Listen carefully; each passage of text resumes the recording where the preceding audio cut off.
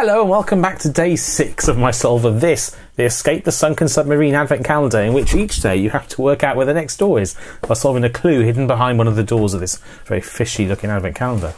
And yesterday we worked out that our door was right over here, door six. Now each day you have to actually open the door to verify it's correct. This is quite away from my camera, so I'm just going to switch to a different camera. So this is the door we opened yesterday, and as you can see there's a number six in there confirming it's the right one, plus a riddle card. And then in the room itself, there is a there's a notebook with a fish on it and a bit of paper sticking out. On the left, there is a, a map with a three in Roman numerals and a banana. And this is the fourth map I found in various days, and I haven't needed them yet, so I think they're for a future puzzle. Um, and then on the right, there are some fish. These are the fish we used to open this door yesterday. Nothing at the top, nothing very exciting down the bottom. Okay, so I'm going to focus my interest on the card I've just taken out. Right, okay, so let's have a look at the cards. I'll zoom in. It says, hey, a floating notebook. That's what we saw inside the door. Okay, let's see what's inside. Looks like a journal, but the words don't make any sense. What's the point of this nonsense? Okay, and then let's see what's on the back. Let's split it into the two cards it actually is. Okay, one says machinist and has two stripes. Yeah, these are, I've been collecting various things on the back of cards as I've gone, and I don't think they're usable yet. I think there's a future puzzle for those. Uh, it says, What's the point of this nonsense? And I think that point is the key word because I can see here that everything starts with the similar letters. So Stephen Walter was worriedly waiting, which, apart from being a tongue twister, um, clearly starts with W for all words apart from the first. And then we have now Neil entertains sailors every night eating watery scrambled eggs.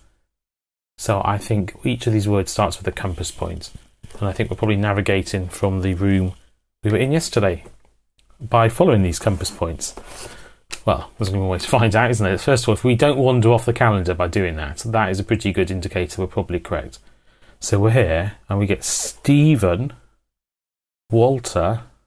You probably can't see the doors very clearly, but you can work out where they are by inference from the other ones. Stephen Walter was worriedly waiting.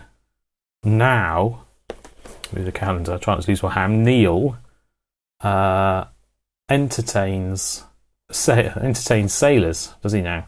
Every night, eating watery scrambled eggs. Well, got to get your kick somewhere.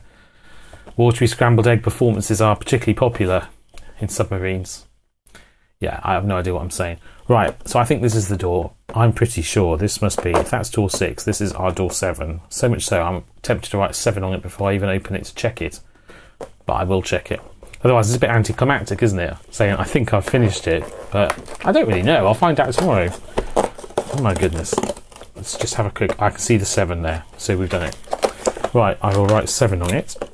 And we are solved for today. That was a nice, relatively easy one, I think. Um, well, I hope you enjoyed that. If you did, join me tomorrow when I shall open. Well, I've already opened it. When I shall try solving the puzzle within the door I just opened. and um, you can also check here for two playlists. This one is my solves of Advent calendars this year, and this one is my solves of Advent calendars last year. I sold three each year, including this one this year. And um, either way, I hope I see you in a future video. Bye.